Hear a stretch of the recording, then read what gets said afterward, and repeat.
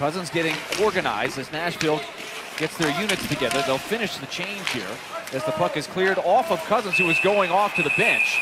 And meanwhile, you've got Haula tied up and being taken down by Erik Cernak.